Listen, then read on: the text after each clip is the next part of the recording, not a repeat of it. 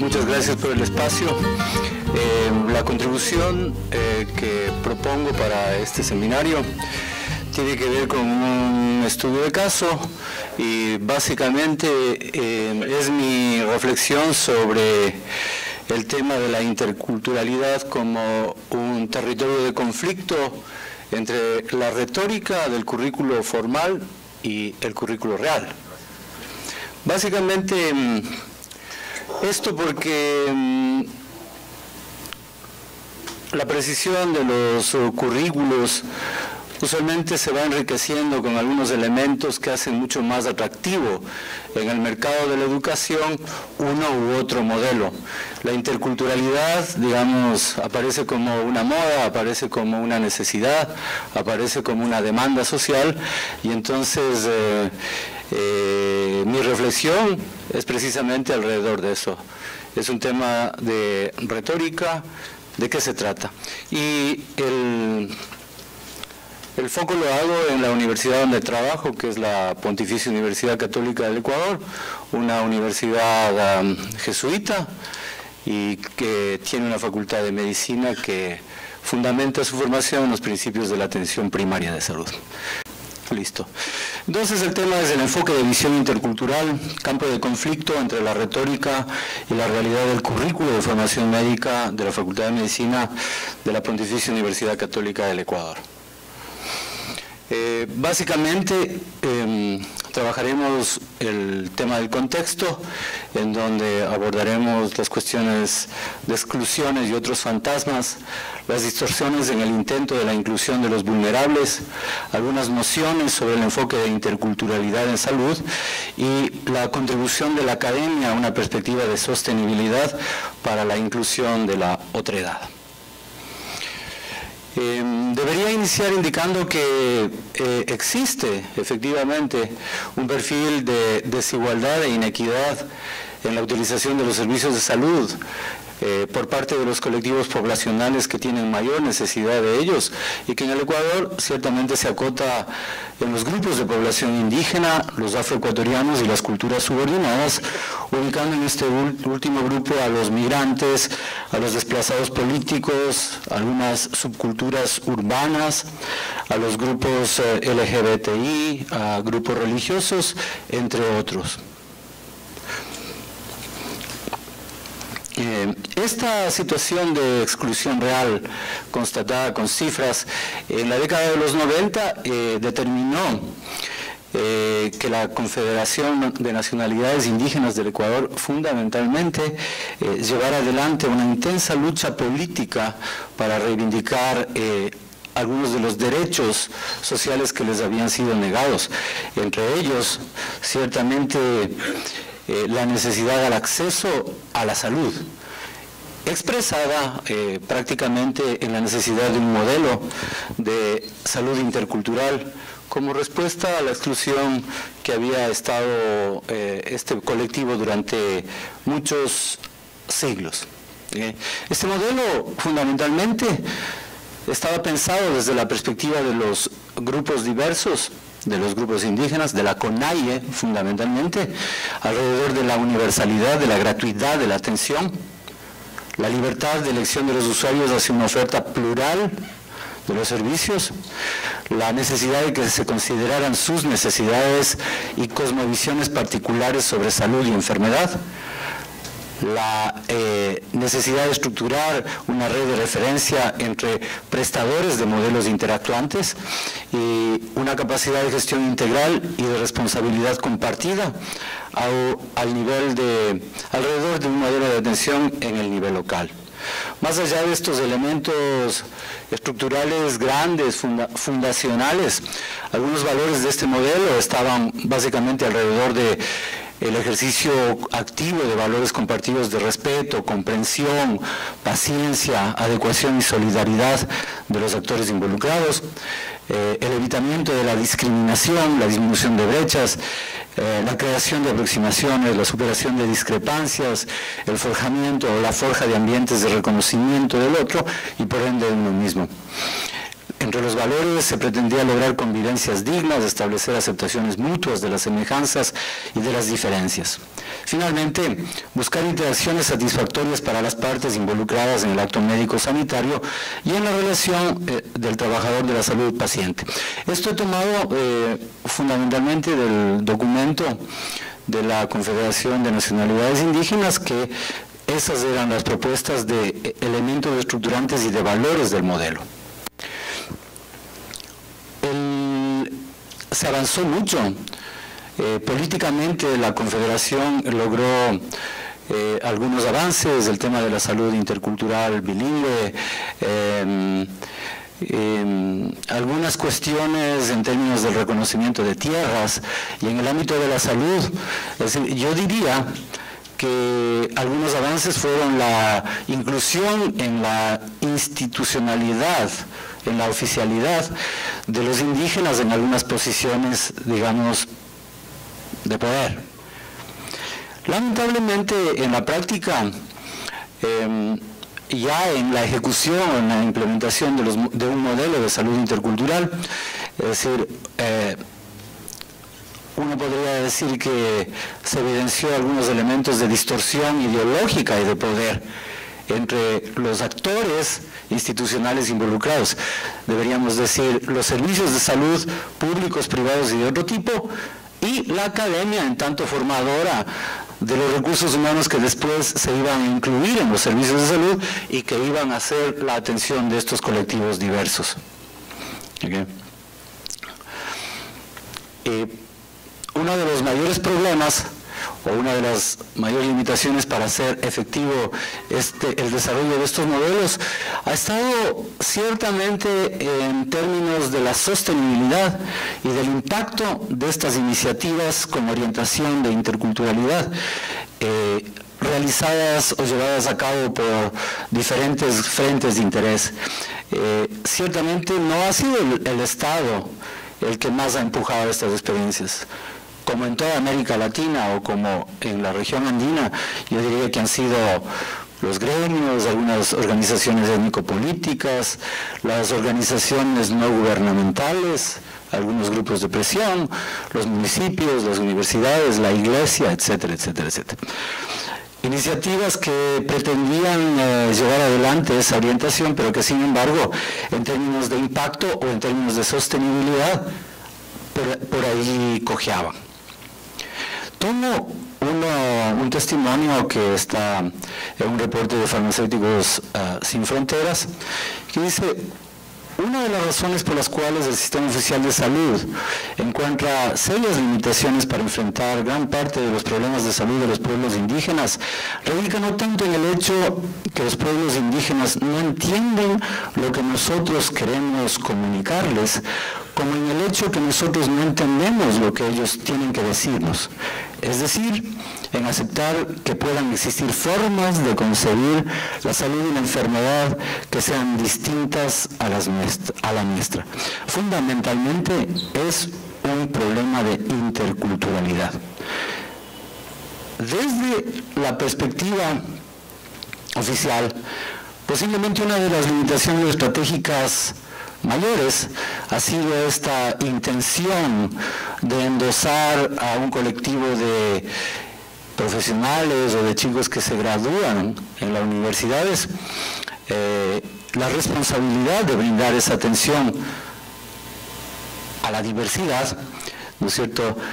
Ya cuando salen y han perdido toda la enorme posibilidad, la inmejorable oportunidad de desarrollar durante su proceso formativo los elementos de interculturalidad de manera que cuando egresen de las universidades, es decir, esa, ese encargo de atención sea simplemente eh, parte de su práctica.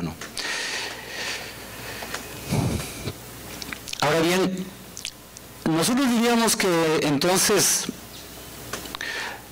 las universidades o las escuelas de medicina deberían eh, desarrollar unos enfoques de competencia intercultural, digamos, para lograr esa, esa estrategia de inclusión de las poblaciones más vulnerables. Y obviamente aquí algunas nociones para entender de qué hablamos cuando hablamos de interculturalidad. Karen Walsh, que lo cité ayer, menciona que la interculturalidad es una noción por construir. Y yo decía, va mucho más allá del respeto, la tolerancia y el reconocimiento de la diversidad. Señala y alienta más bien un proceso y proyecto social político dirigido a la construcción de sociedades, relaciones y condiciones de vida nueva y distinta. No solo se trata del rearreglo de las condiciones económicas, sino de la cosmología, cosmología de la vida en general, incluyendo, dice, los conocimientos y saberes, la memoria ancestral y la relación con la madre naturaleza y la espiritualidad, entre otras. Cuando tratamos de asimilar este concepto de interculturalidad al plano de la salud en lo ideológico, Walsh igualmente ella entiende como un intercambio relacional equitativo entre culturas diferentes, sustentado en el reconocimiento de las asimetrías sociales, económicas, políticas y de poder, y de las condiciones institucionales que limitan la posibilidad que el otro pueda ser considerado como sujeto con identidad, diferencia y agencia. El concepto de agencia de la sociología que es la capacidad de actuar. ¿Entiendes entonces que eh, se lo consigue como un, problema de la ideología del poder que trasciende esos desencuentros entre los unos y los otros como unas constantes en las condiciones de exclusión? Ahora bien, cuando analizamos cuál podría ser la contribución de la academia a una perspectiva de sostenibilidad para la inclusión de los diversos, tendríamos que partir de una, un primer supuesto. ¿no? La calidad de los servicios de salud no dependen exclusivamente de la suficiencia de recursos y de las competencias técnicas clínicas del personal de salud, lo que explica en parte que aún con los grandes avances en el desarrollo científico, tecnológico y de ampliación de cobertura de los servicios de salud, los problemas que se han planteado con la visión científica de la realidad han tenido un efecto limitado en países o regiones con gran diversidad cultural. Ese es el punto de partida. Es decir, la orientación no es únicamente la dotación de infraestructura o la dotación, digamos, de competencias técnicas, clínicas, diagnósticas, etc. Está fundamentalmente demandando la necesidad de construir esas competencias interculturales para la atención de la diversidad. Por tanto, es decir, esa, esa frase, esa reflexión apela a la responsabilidad social de las facultades de medicina, en este caso de la, de la PUSE, para demandar una reorientación de su vocación formativa de mercado.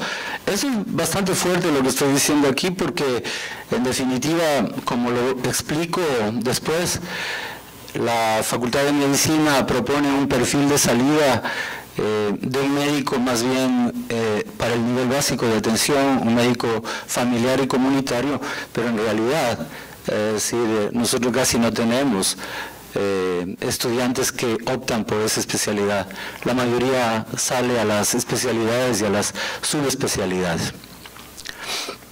Entonces, aquí lo que nosotros estamos diciendo es, o lo que yo digo personalmente, es la necesidad de la introducción efectiva de un enfoque de visión intercultural, intercultural, unidad en salud, cuya conceptualización comparto con los dos autores Campos, Roberto Campos de México y Ibacache de Arce de Perú.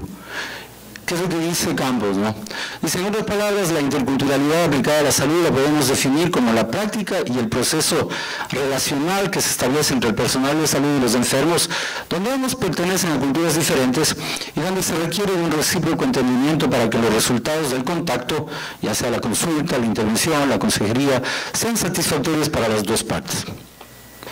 Y Ibacache y Ollarse dicen, es la capacidad de moverse equilibradamente entre conocimientos, creencias y prácticas culturales diferentes respecto a la salud y la enfermedad, la vida y la muerte, el cuerpo biológico, social y relacional, percepciones que a veces pueden ser incluso contrapuestas. Hasta ahí, digamos, eh, una pequeña introducción para eh, ubicar el tema, ubicar eh, la necesidad de un enfoque diferente al enfoque que tradicionalmente está llevando la facultad. La pregunta que mm, me ayuda a continuar es esta. Entonces, ¿por qué vía se separa la retórica de la realidad?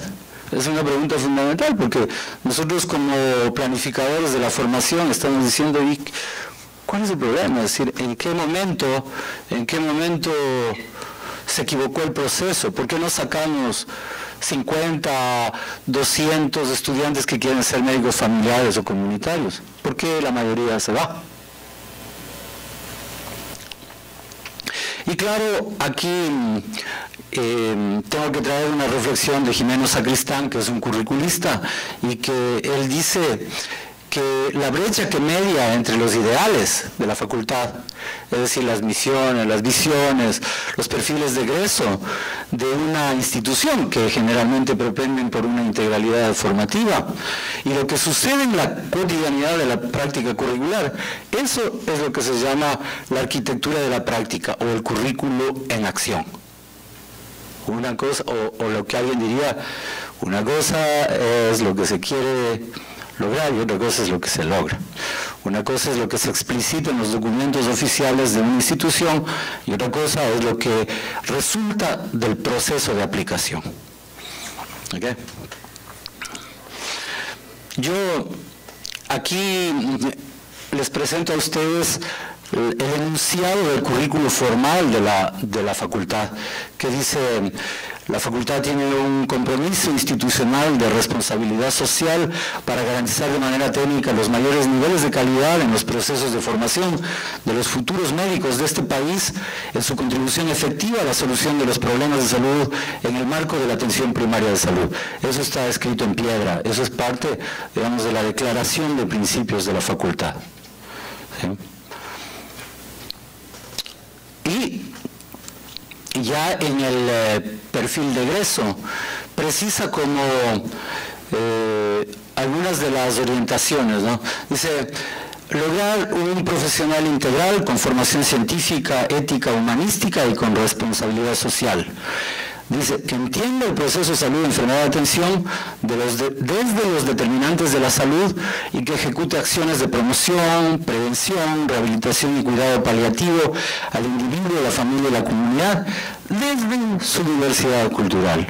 Lo he puesto en, cursiva porque eh, ese es el punto y ese es uno de los temas que la facultad reivindica que se compromete a lograr. Eso está escrito también en piedra como parte del perfil de egreso. Y yo estoy pensando que hay como tres eh, elementos o tres ámbitos de análisis que han impedido que se logre eso y que explican esta separación entre la retórica y la realidad. Uno es la complejidad del alineamiento filosófico de la facultad, el segundo sería lo que el estudiante quiere y lo que la facultad le ofrece, es decir, esa, esa tensión estructurante entre, entre dos intereses, el institucional y el, y el particular. Y el último tiene que ver con la propiedad intelectual de los perfiles de egreso. Voy a trabajar en el primero, que es las complejidades del alineamiento filosófico. Y para ello, lo que tendría que decir es que el alineamiento filosófico de la facultad es con los valores y principios de la atención primaria de salud. Yo ayer hablé de Alma Ata, de la declaración de Alma Ata de APS en 1978, en donde el mundo llegó a un acuerdo y a un consenso que para lograr mayores niveles de equidad lo que se requería era esa orientación filosófica. Pero esa orientación filosófica no era técnica, mayormente era política. Y entonces esa facultad se ha alineado con una postura política y una postura política siempre es una cuestión compleja. Es una cuestión compleja, ¿no? Aquí está, digamos, eh, la noción fundamental de APS es entender a la salud como un derecho, como un derecho, no como una mercancía. Es decir, no como la posibilidad de cualquier persona que tiene dinero para alcanzar eso. Es salud para todos en el año 2000, a ese tiempo, ahora atención primaria de salud más necesaria que nunca. ¿Okay? Adicionalmente, en este alineamiento filosófico, el currículo formal incluye un conjunto de principios y valores idealizados de la práctica médica. Digo, claro, idealizados de la práctica médica. La universalidad, la equidad, la humanidad, la justicia, la utilidad, el profesionalismo, la ética, la competencia científica, algunos valores cristianos, etcétera, etcétera. Es decir, más complicado todavía ya es un ámbito valórico, ya es un ámbito que eh, supera con creces al entrenamiento técnico, al entrenamiento de destrezas o de conocimientos. Entonces, este cúmulo de principios, competencias y valores configuran un perfil de egreso ambiguo y complejo por lo idealizado, que pone en cuestionamiento aquello que la facultad puede objetivamente certificar y, los aspectos valóricos que por comportar inevitablemente asuntos debatidos y debatibles obligan posturas institucionales sobre lo que objetivamente se puede conseguir. Objetivamente se puede conseguir. ¿Cómo los estudiantes pueden facilitar el acceso a la atención de los grupos excluidos y vulnerables en el país?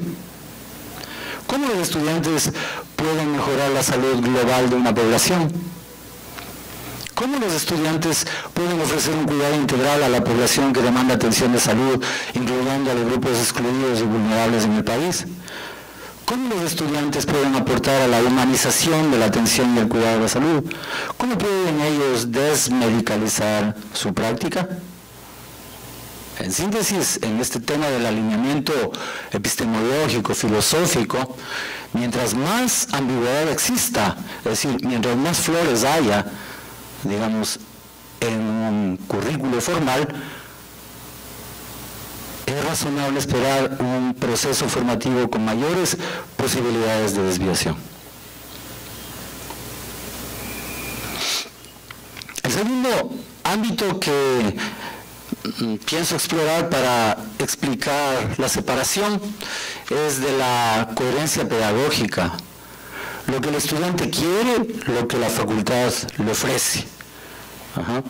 Yo comenzaría diciendo que en mi facultad, en la facultad en la que trabajo, evidentemente desde la perspectiva pedagógica hay una contradicción, porque si la facultad se comprometió a desarrollar un currículo de racionalidad crítica, ¿no? dice claramente, el estudiante va a transformar la realidad, es decir, formará médicos que luchen contra los esquemas de exclusión de los grupos vulnerables, pero en la práctica eso se materializa mediante un currículo que llamamos como resultado. El interés entonces es desarrollar competencias y resultados de aprendizaje y estas competencias y resultados de aprendizaje no pertenecen a la racionalidad crítica, pertenecen a la racionalidad técnica, a hacer bien eso. No pregunte lo que hace, no pregunte lo que hace. Haga, haga bien. Pero se comprometió a otro nivel de racionalidad, a una racionalidad crítica, a una racionalidad transformadora, porque eso dice el estatuto.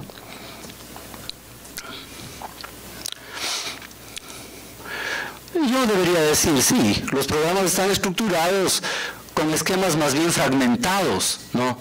que corresponden a saberes, a áreas, a problemas, a temáticas y a, y a contenidos, dirigidos a conseguir un profesional que le exige a la universidad que le entregue aquello que le va a servir en concreto y no aspectos generales que supuestamente el estudiante eh, no los ve tangiblemente. Este es un tema interesante, este es un tema bien interesante porque em, plantea siempre esa reflexión, ¿no? A los estudiantes les gusta, nosotros decimos, les gustan las actividades mucho más prácticas, les gusta suturar, les gusta ir a los centros de destrezas clínicas, les gusta ver, hacer esas cuestiones. Estos temas de la reflexión em, sobre cuál es la identidad médica, cuál es la relación médico-paciente, estos temas, es decir, son un poco complejos realmente a la hora de ponerlos en práctica. Entonces, obviamente aquí se produce este, este enorme eh, desbalance entre aquellos que optan por especialidades y subespecialidades y por aquellos que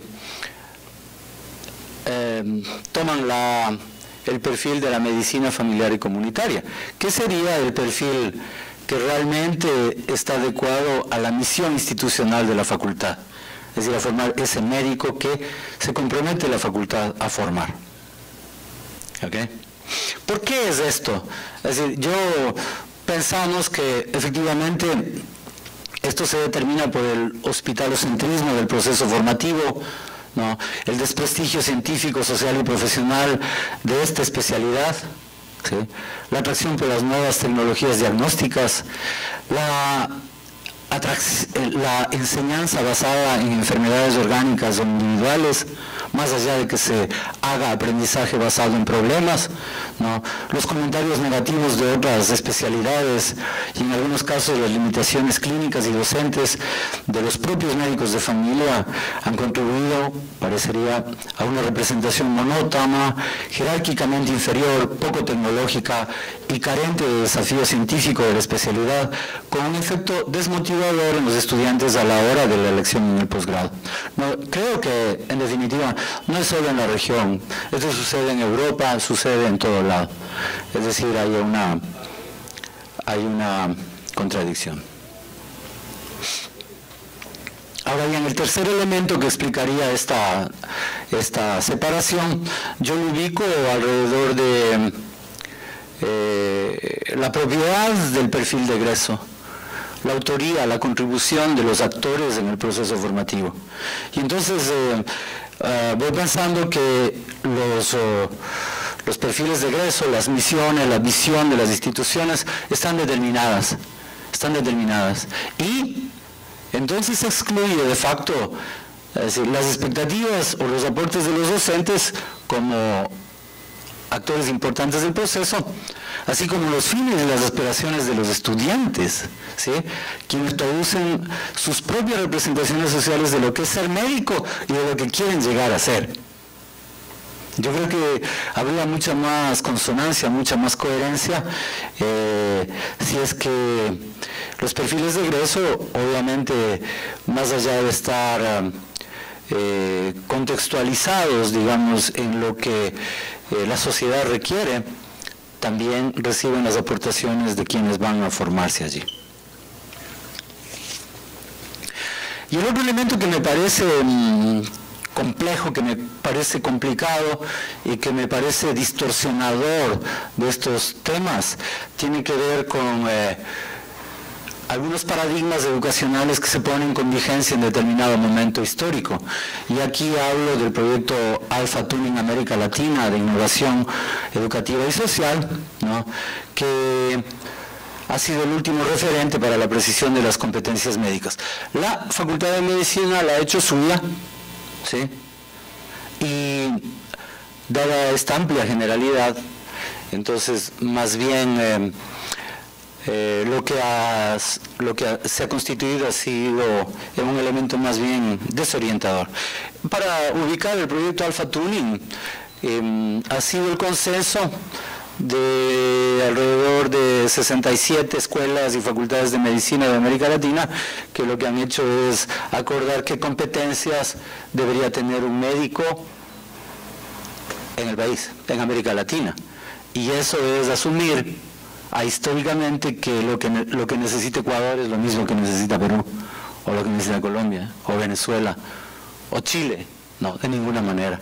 Pero sin embargo, yo, yo le invito a que compare con el, perfil de salida de su escuela, de su universidad. Este es el, el perfil, ¿no? O sea, este es el molde de hacer médicos desde la tecnocracia.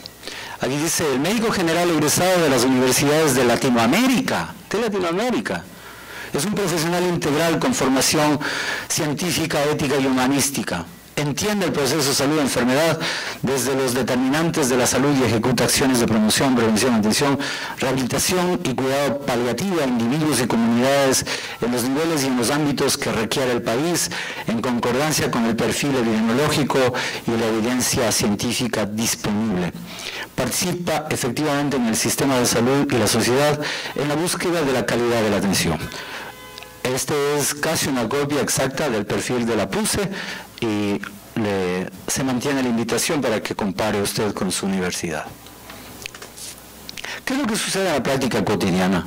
Yo creo que no hay mucho espacio para el asombro. Eh, no hay espacio para el asombro porque la mayoría del claustro docente ejerce su práctica académica, su práctica docente, con sustento en los paradigmas del modelo positivista de la ciencia que sustenta su práctica clínica. Entonces ahí es cuando el enfoque este de interculturalidad tiene que eh, nadar contra corriente. Esto porque más allá de las posiciones institucionales declarativas, institucionales hacia un enfoque de pluralismo académico, este se confronta con los rasgos estructurales dominantes del modelo médico hegemónico que hablamos ayer, piedra filosofal del proceso formativo de la FM de la facultad. Aquí he puesto esta, no sé si existe esta frase, pero a mí me suena como latín, así. He puesto de relleno, rellenorum y hablo y, tomo una cita de Campos Navarro que dice en las carreras ciencias de la salud se establece la ficción del equilibrio biopsicosocial. En la realidad es el dominio absoluto del biologismo. Somos iguales porque todos somos cuerpos regidos por las leyes inmutables de la vida. Nacemos, crecemos, funcionamos, nos reproducimos y morimos, todos igualitos. Lo psicológico, lo social y cultural lo subjetivo no es importante, no es trascendente.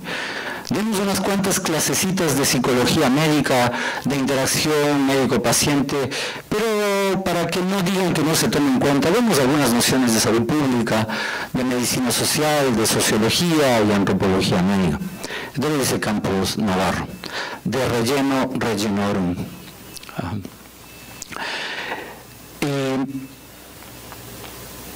En el último, en el último ámbito, em, yo apelo a la reflexión acerca de la teoría del pensamiento abismal de Boaventura de Sousa Santos, que para no ir en detalle este momento, porque lo voy a tratar eventualmente en la mesa redonda, eh, nosotros estamos hablando de que cuando la mayoría de los profesores están absolutamente convencidos que hay una separación abismal entre la ciencia positivista y los otros saberes, es decir, no hay posibilidades de tender puentes. Por tanto, lo que está a este lado de la línea es lo que es científico y lo que está al otro lado de la línea ya es cualquier cosa menos ciencia. Entonces, eh, lo leo y lo cito a este autor precisamente porque él lo que dice es que no, es que él quiere que eh, la ciencia positivista o, lo que se conoce como científico no se les entregue a los estudiantes. Lo que él dice es básicamente lo otro, esos saberes deben estar en diálogo.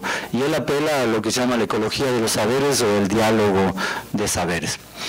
Em, yo voy a pasar este porque es bastante más, ah, más ah, epistemológico. Y concluyendo, yo diría que esta noción que le acabo de decir se expresa muy fuertemente en la facultad cuando en el currículo predomina como rasgo estructural dominante un enfoque biologista exagerado.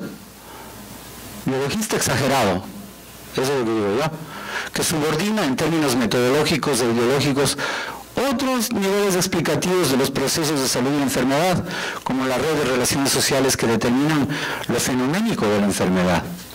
El plan de estudios meso y microcurrículo de esta facultad es una expresión de los límites internos del modelo que se estructura con una ponderación extremadamente desproporcionada hacia las disciplinas de las ciencias básicas y clínico-quirúrgicas en desmedro de los abordajes de las ciencias sociales que corresponderían a los límites externos.